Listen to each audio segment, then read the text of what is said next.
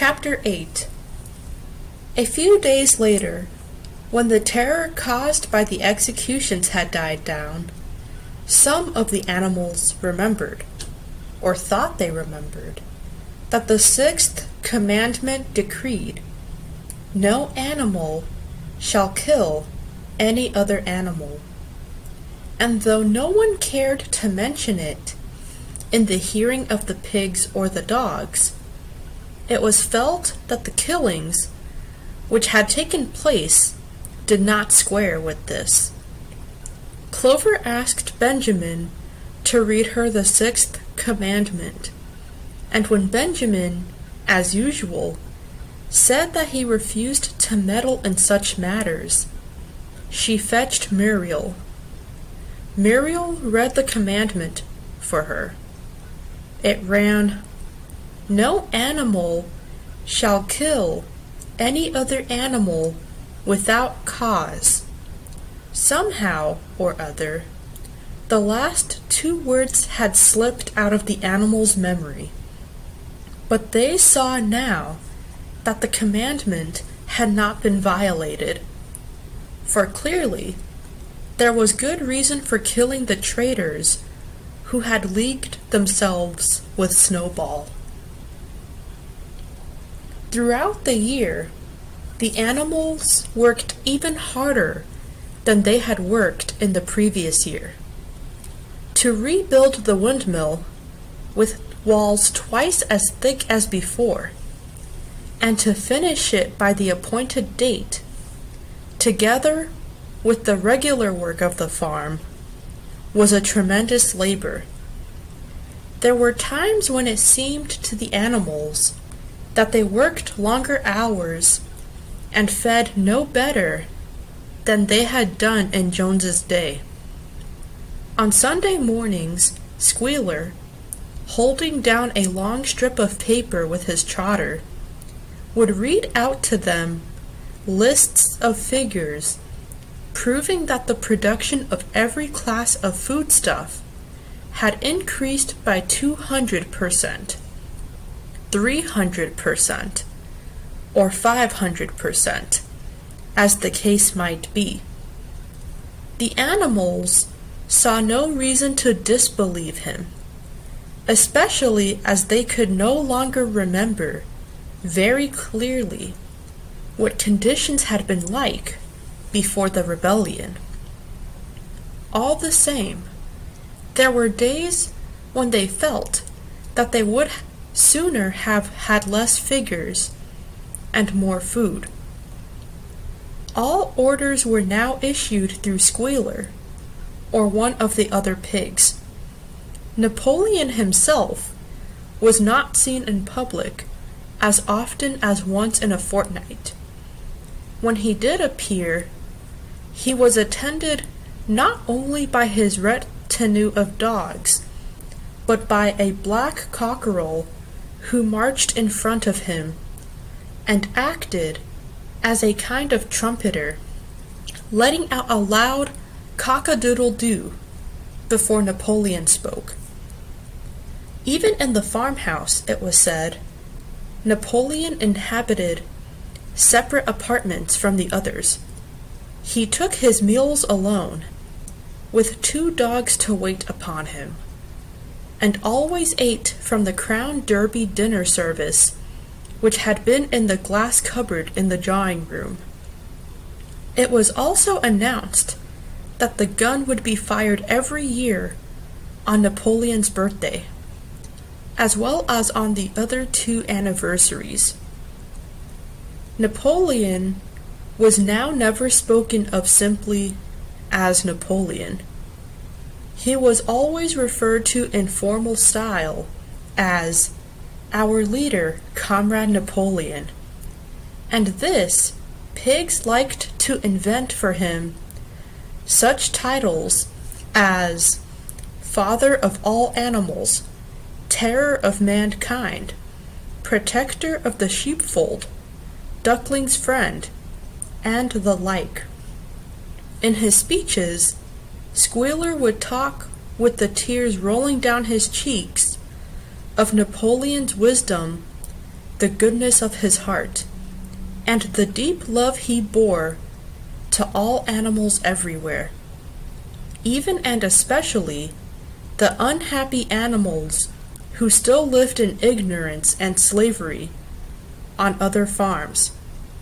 It had become usual to give Napoleon the credit for every successful achievement and every stroke of good fortune. You would often hear one hen remark to another, Under the guidance of our leader, Comrade Napoleon, I have laid five eggs in six days, or two cows enjoying a drink at the pool, would exclaim, Thanks to the leadership of Comrade Napoleon, how excellent this water tastes.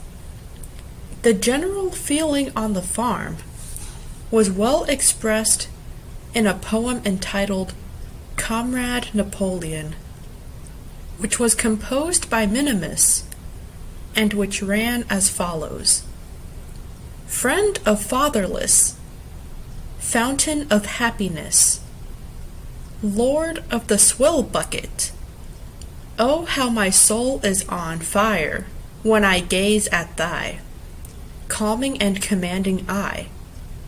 Like the sun in the sky, comrade Napoleon, thou art the giver of all that thy creatures love. Full belly twice a day, clean straw to roll upon.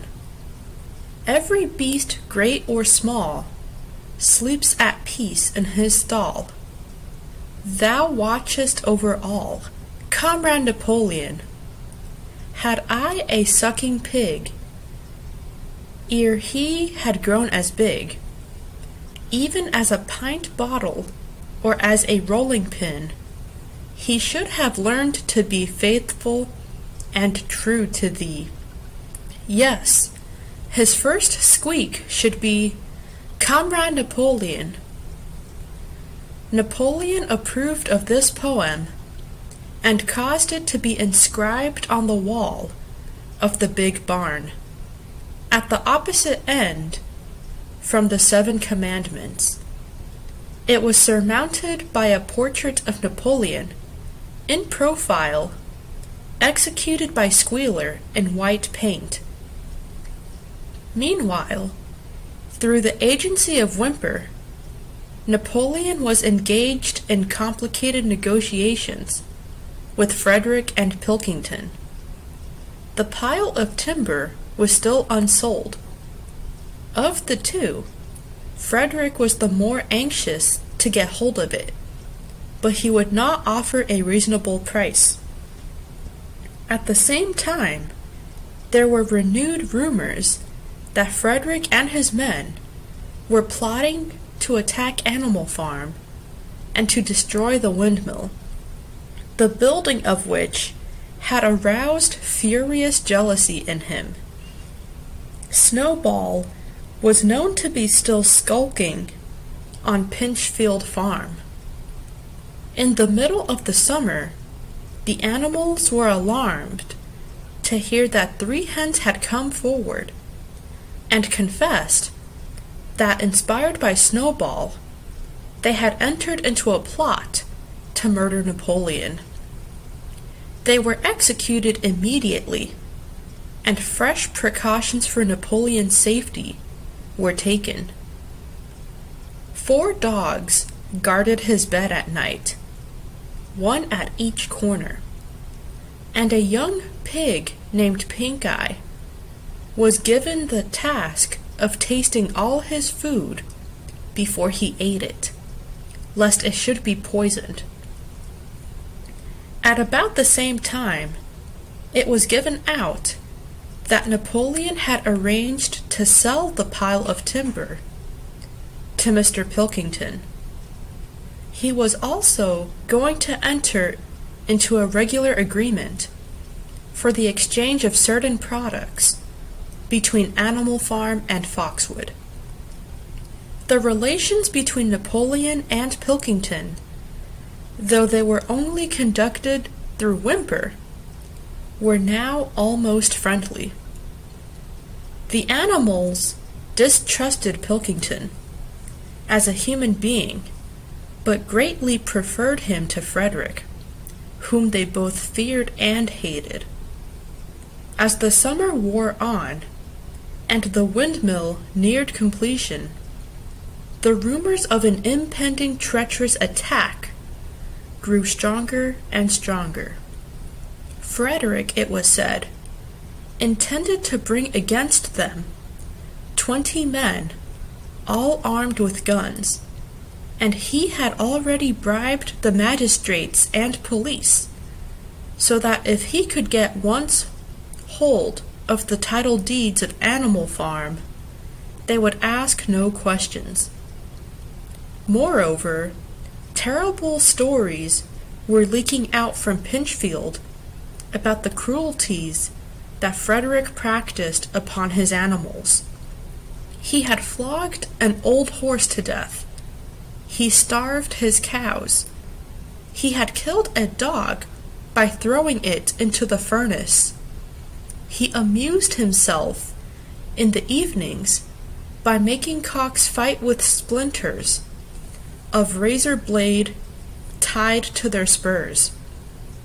The animals' blood boiled with rage when they heard of these things being done to their comrades, and sometimes they clamored to be allowed to go out in a body and attack Pinchfield Farm, drive out the humans, and set the animals free.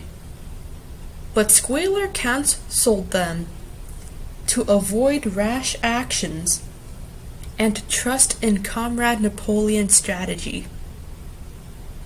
Nevertheless, feeling against Frederick continued to run high. One Sunday morning, Napoleon appeared in the barn and explained that he had never at any time contemplated selling the pile of timber to Frederick. He considered it beneath his dignity, he said, to have dealings with scoundrels of that description.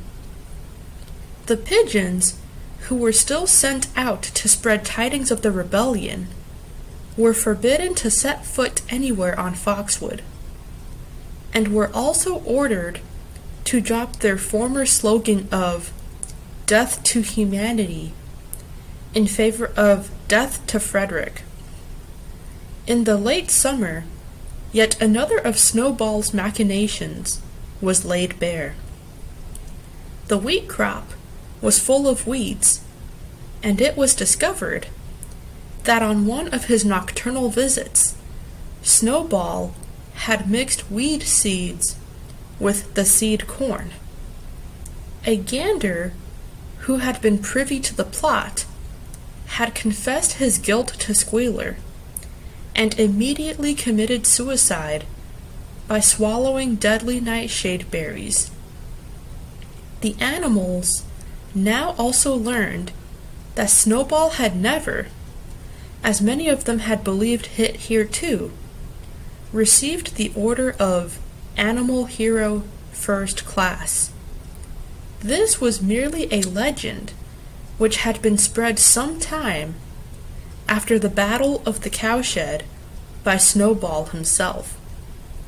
So far from being decorated, he had been censured for showing cowardice in the battle. Once again, some of the animals heard this with a certain bewilderment. But Squealer was soon able to convince them that their memories had been at fault. In the autumn, by a tremendous, exhausting effort, for the harvest had to be gathered at almost the same time, the windmill was finished. The machinery had still to be installed, and Whymper was negotiating the purchase of it. But the structure was completed. In the teeth of every difficulty, in spite of inexperience, of primitive implements, of bad luck, and of Snowball's treachery. The work had been finished punctually to the very day. Tired out, but proud, the animals walked round and round their masterpiece, which appeared even more beautiful in their eyes than when it had been built the first time. Moreover, the walls were twice as thick as before. Nothing short of explosives would lay them low this time. And when they thought of how they had labored, what discouragements they had overcome, and the enormous difference that would be made in their lives when the sails were turning and the dynamos running, when they thought of all this, their tiredness forsook them, and they gam- gamboled around and round the windmill, uttering cries of triumph. Napoleon himself, attended by his dogs and his cockerel, came down to inspect the completed work. He personally congratulated the animals on their achievement and announced that the mill would be named Napoleon Mill. Two days later, the animals were called together for a special meeting in the barn. They were struck dumb with surprise when Napoleon announced that he had sold the pile of timber to Frederick. Tomorrow, Frederick's wagons would arrive and begin carting it away. Throughout the whole period of his seeming friendship with Pilkington, Napoleon had really been in secret agreement with Frederick.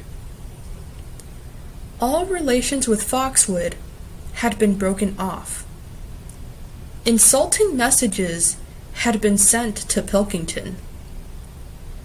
The pigeons had been told to avoid Pinchfield Farm and to alter their slogan from Death to Frederick to Death of Pilkington. At the same time, Napoleon assured the animals that the stories of an impending attack on Animal Farm were completely untrue, and that the tales about Frederick's cruelty to his own animals had been greatly exaggerated. All these rumors had probably originated with Snowball and his agents. It now appeared that Snowball was not, after all, hiding on Pinchfield Farm, and in fact had never been there in his life. He was living, in considerable luxury, so it was said, at Foxwood, and had in reality been a pensioner of Pilkington for years past. The pigs were in ecstasies over Napoleon's cunning. By seeming to be friendly with Pilkington, he had forced Frederick to raise his price by twelve pounds. But the superior quality of Napoleon's mind, said Squealer, was shown in the fact that he trusted nobody, not even Frederick. Frederick had wanted to pay for the timber with something called a check, which it seemed was a piece of paper with a promise to pay written upon it. But Napoleon was too clever for him. He had demanded payment in real five pound notes, which were to be handled over before the timber was removed. Already Frederick had paid up, and the sum he had paid was just enough to buy the machinery for the windmill. Meanwhile, the timber was being carted away at high speed. When it was all gone, another special meeting was held in the barn for the animals to inspect Frederick's banknotes. Smiling beatifically and wearing both his decorations, Napoleon reposed on a bed of straw on the platform, with the money at his side, neatly piled on a china dish from the farmhouse kitchen. The animals filed slowly past, and each gazed his fill. And Boxer put out his nose to sniff at the banknotes, and the flimsy white thing stirred and rustled in his breath. Three days later, there was a terrible hullabaloo. Whymper, his face deadly pale, came racing up the path on his bicycle, flung it down in the yard, and rushed straight into the farmhouse.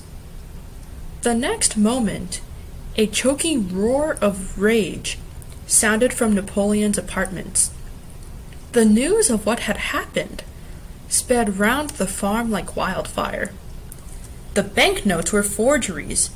Frederick had got the timber for nothing. Napoleon called the animals together immediately, and in a terrible voice pronounced the death sentence upon Frederick. When captured, he said, Frederick should be boiled alive. At the same time, he warned them that after this treacherous deed, the worst was to be expected. Frederick and his men might make their long expected attack at every moment. Sentinels were placed at all the approaches to the farm. In addition, four pigeons were sent to Foxwood with a conciliatory message, which it was hoped might re-establish good relations with Pilkington. The very next morning, the attack came. The animals were at breakfast when the lookouts came racing in with the news that Frederick and his followers had already come through the five barred gate. Boldly enough, the animals sallied forth to meet them. But this time, they did not have the easy victory that they had had in the Battle of the Cowshed. There were fifteen men, with half a dozen guns between them, and they opened fire as soon as they got within fifty yards. The animals could not face the terrible explosions and the stinging pellets, and, in spite of the efforts of Napoleon and Boxer to rally them, they were soon driven back. A number of them were already wounded. They took refuge in the farm buildings and peeped cautiously out from chinks and knot holes. The whole of the big pasture, including the windmill, was in the hands of the enemy. For the moment, even Napoleon seemed at a loss. He paced up and down without a word, his tail rigid and twitching. Wistful glances were sent in the direction of Foxwood. If Pilkington and his men would help them, the day might yet be won. But at this moment, the four pigeons, who had been sent out on the day before, returned. One of them bearing a scrap of paper from Pilkington. On it was penciled the words, Serves you right. Meanwhile, Frederick and his men had halted about the windmill. The animals watched them, and a murmur of dismay went around. Two of the men had produced a crowbar and a sledgehammer. They were going to knock the windmill down. Impossible! cried Napoleon. We have built the walls too thick for that. They could not knock it down in a week. Courage, comrades! But Benjamin was watching the movements of the men intently. The two with the hammer and the crowbar were drilling a hole near the base of the windmill. Slowly, and with an air of almost amusement, Benjamin nodded his long muzzle. I thought so, he said. Do you not see what they are doing? In another moment, they are going to pack blasting powder into that hole. Terrified, the animals waited. It was impossible now to venture out of the shelter of the buildings. After a few minutes, the men were seen to be running in all directions. Then there was a deafening roar. The pigeon swirled into the air, and all the animals, except Napoleon, flung themselves flat on their bellies and hid their faces. When they got up again, a huge cloud of black smoke was hanging where the windmill had been. Slowly, the breeze drifted it away. The windmill had ceased to exist. At this sight, the animals' courage returned to them. The fear and despair they had felt a moment earlier were drowned in their rage against this vile, contemptible act. A mighty cry for vengeance went up and without waiting for further orders, they charged forth in a body and made straight for the enemy. This time, they did not heed the cruel pellets that swept over them like hail. It was a savage, bitter battle. The men fired again and again, and when the animals got close to quarters, lashed out with their sticks and their heavy boots. A cow, three sheep, and two geese were killed, and nearly everyone was wounded. Even Napoleon, who was directing operations from the rear, had the tip of his tail chipped by a pellet. But the men did not go unscathed either. Three of them had their heads broken by blows from Boxer's hoofs. Another was gored in the belly by a cow's horn. Another had his trousers nearly torn off by Jessie and Bluebell. And when the nine dogs of Napoleon's own bodyguard, whom he had instructed to make a detour under cover of the hedge, suddenly appeared on the men's flank, baying ferociously. Panic overtook them. They saw that they were in danger of being surrounded. Frederick shouted to his men to get out while the going was good, and the next moment the cowardly enemy was running for dear life.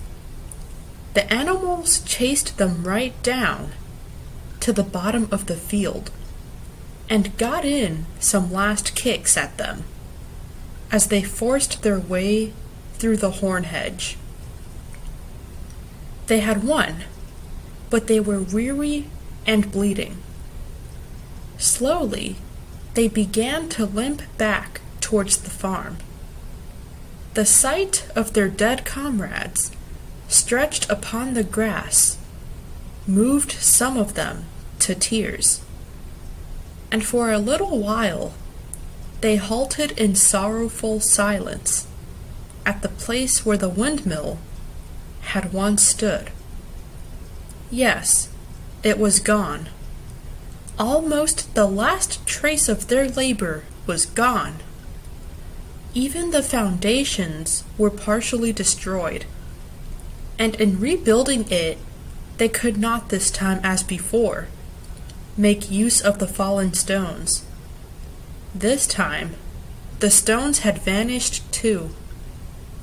The force of the explosion had flung them to distances of hundreds of yards. It was as though the windmill had never been. As they approached the farm, Squealer, who had unaccountably been absent during the fighting, came skipping towards them, whisking his tail and beaming with satisfaction. And the animals heard, from the direction of the farm buildings, the solemn booming of a gun. What is that gun firing for? said Boxer. To celebrate our victory, cried Squealer. What victory? said Boxer. His knees were bleeding. He had lost a shoe and split his hoof, and a dozen pellets had lodged themselves in his hind leg. What victory, comrade? Have we not driven the enemy off our soil, the sacred soil of Animal Farm? But they have destroyed the windmill and we had worked on it for two years. What matter? We will build another windmill.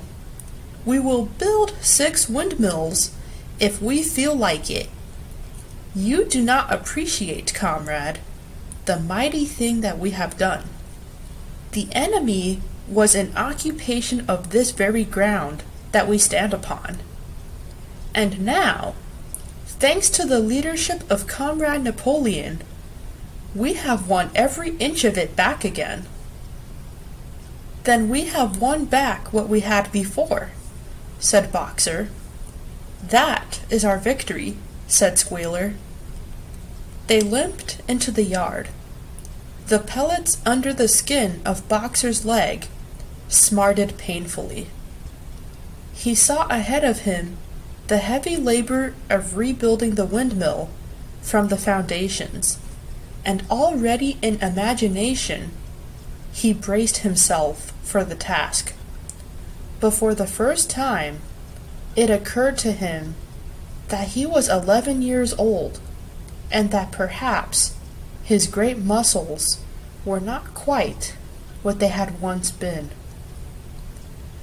But when the animals saw the green flag flying, and heard the gun firing again, seven times it was fired in all, and heard the speech that Napoleon made, congratulating them on their conduct, it did not seem to them, after all, that they had won a great victory. The animals slain in the battle were given a solemn funeral Boxer and Clover pulled the wagon which served as a hearse, and Napoleon himself walked at the head of the procession. Two whole days were given over to celebrations. There were songs, speeches, and more firing of the gun. And a special gift of an apple was bestowed on every animal with two ounces of corn for each bird and three biscuits for each dog. It was announced that the battle would be called the Battle of the Windmill, and that Napoleon had created a new decoration, the Order of the Green Banner, which he had conferred upon himself. In the general rejoicings, the unfortunate affair of the banknotes was forgotten. It was a few days later than this that the pigs came upon a case of whiskey in the cellars of the farmhouse. It had been overlooked at the time when the house was first occupied. That night there came from the farmhouse the sound of loud singing, in which, to everyone's surprise, the strains of Beasts of England were mixed up. At about half past nine, Napoleon, wearing an old bowler hat of Mr. Jones's, was distinctly seen to emerge from the back door, gallop rapidly round the yard, and disappear indoors again. But in the morning a deep silence hung over the farmhouse. Not a pig appeared to be stirring.